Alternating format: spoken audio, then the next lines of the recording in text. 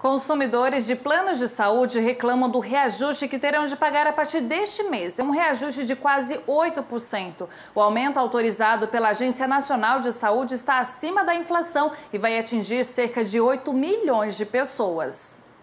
Seu Francisco pagava cerca de 350 reais por mês pelo plano de saúde, mas ele cancelou o convênio no início do ano porque os custos estavam pesando demais no orçamento. No momento eu não estou assim em condições de pagar um plano, um plano, um plano bom, um plano que cubra né, as necessidades. O comerciante de 57 anos pensa em fazer um novo seguro de saúde no mês que vem. Só que o novo plano vai sair mais caro. Na semana passada, a Agência Nacional de Saúde Suplementar, a ANS, divulgou o índice de reajuste anual, que ficou em quase 8%. O aumento está acima da inflação, que foi de 5% nos últimos 12 meses. A operadora que já emitiu o boleto sem reajuste de um contrato com o aniversário no mês de maio está autorizada a cobrar a diferença de forma retroativa.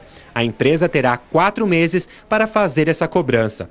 Já os boletos emitidos a partir deste mês devem vir com os novos valores. Se estiver acima do índice autorizado pela ANS, ele pode sim reclamar tanto nos órgãos de defesa do consumidor quanto na própria Agência Nacional de Saúde Suplementar, de forma a fazer valer que o índice aplicado seja aquele autorizado. 8 milhões de brasileiros serão afetados pelo reajuste.